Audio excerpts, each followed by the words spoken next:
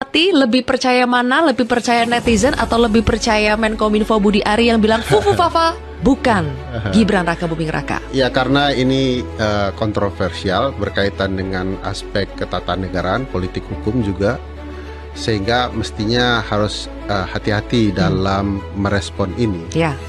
Kalau kemudian direspon ini sama sekali tidak, bukan akun dari uh, wapres terpilih, pertanyaan besarnya bagaimana metode penyelidikannya sehingga sangat berani menyatakan bukan hmm. gitu ya. Tapi kalau seandainya terbukti itu adalah akun dari wapres terpilih, pertanyaannya hmm. layakkah kita dipimpin oleh wakil presiden yang punya masalah moral?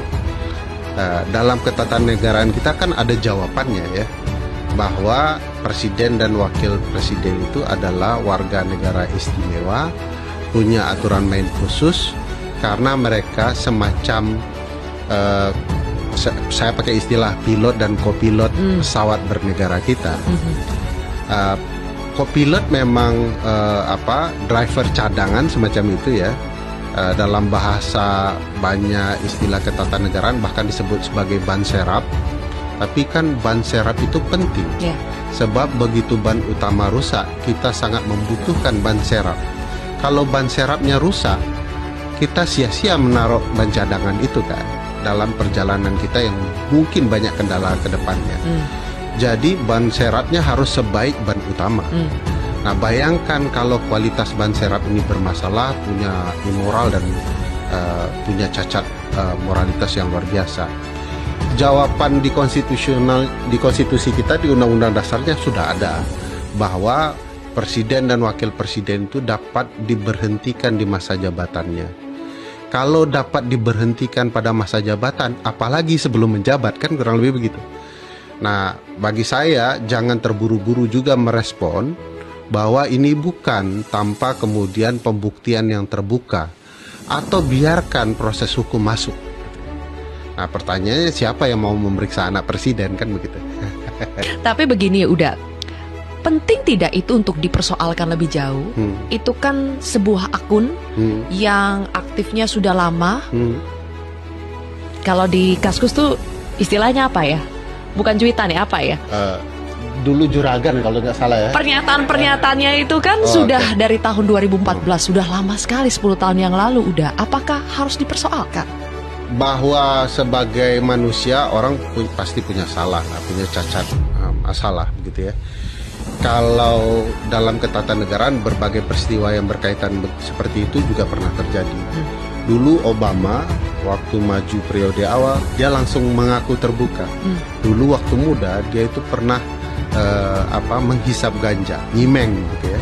Dia sampaikan dia anak muda, saya dulu sama seperti anak muda lainnya punya masa lalu tersendiri. Hmm. Saya mohon maaf dengan tindakan itu. Saya fair kepada Anda, saya juga pemuda yang biasa. Uh, dan saya sekarang berubah menjadi berupaya jauh lebih baik. Hmm. Gitu ya.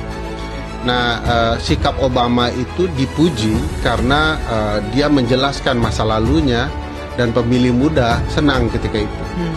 Tapi kenapa dia tidak jadi kontroversi ketika itu? Ya karena dia jujur terbuka. Hmm Nah problematikanya eh, Pak Wapres terpilih kan mengatakan ketika ditanya apakah anda pemilik eh, akun, ya tanyakan kepada pemilik akunnya. Hmm. Artinya kan mengatakan Ka tidak. Ya berarti mengatakan tidak. Bukan. Bagaimana hmm. kalau kemudian terbukti sebaliknya?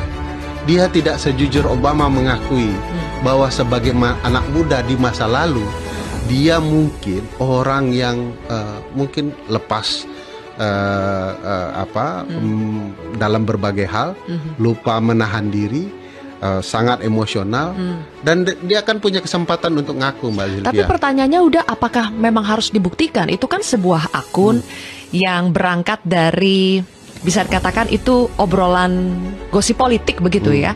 Apakah itu harus dibuktikan? Uh, Siapa pemiliknya? Ya, karena ini jadi kontroversi dan ini bukan warga negara biasa Ferry Amsari kalau punya masalah, ya dia paling cuma dosen yang punya masalah. E, dampaknya tidak terlalu besar, mungkin mahasiswa-mahasiswanya. Hmm. Tapi ini pimpinan negara, ini bukan main-main gitu ya. Itu sebabnya di dalam pasal 7A Undang-Undang Dasar kita itu presiden dan wakil presiden kita itu tidak boleh cacat moral. Hmm. Dia bisa diberhentikan karena dua sebab. Satu, melanggar hukum, perbuatan melawan hukum. Yang terdiri dari lima tindakan. Satu, korupsi, suap, tindak pidana berat lainnya, pengkhianatan terhadap negara, dan misdemeanor, perbuatan tercela. Apa yang dimaksud perbuatan tercela? Segala tindakan yang dianggap cela oleh masyarakat. Hmm. Bah bahkan yang kedua, dia dapat diberhentikan di dalam masa jabatannya jika terbukti tidak lagi memenuhi syarat sebagai presiden dan atau wakil presiden. Apa saja syarat jadi presiden dan wakil presiden ada di pasal 169 Undang-Undang Pemilu, Undang-Undang okay. 7 2017. Hmm. Yang disebutkan yang menarik ya di 169 huruf E dan huruf J-nya seorang presiden dan atau wakil presiden itu harus kemudian betul-betul tidak memiliki cacat moral. Dan Kalaupun tugas untuk membuktikan itu siapa udah setelah setelah sekarang ya. akun Fufafa itu menjadi kontroversial apakah itu tugas dari Kominfo? Jadi kalau dia sebelum menjadi presiden dan atau wakil presiden itu tugas aparat penegak hukum karena ada tindak pidana IT gitu ya. Haruskah ada yang melaporkan dulu? Uh, saya pikir karena ini sudah jadi kontroversi umum, ini bukan juga delik aduan demi uh, ketenangan kehidupan uh, masyarakat luas, mestinya aparat penegak hukum memprosesnya. Hmm. Tapi pertanyaan saya sekali lagi, siapa sih yang mau menyentuh anak presiden kan gitu ya. Nah, tapi kalau dia sudah menjabat, dia masuk ke mekanisme impeachment uh, impeachment itu melalui usul DPR ke Mahkamah Konstitusi ke DPR sedikit lalu ke MPR yang memutuskan terakhir. Panjang. Panjang pasti